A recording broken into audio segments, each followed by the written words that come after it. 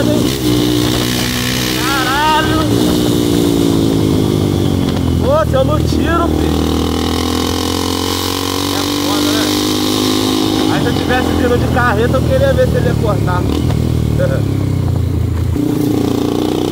Só porque é motor de moto, os caras jogam mesmo, tá nem aí, filho.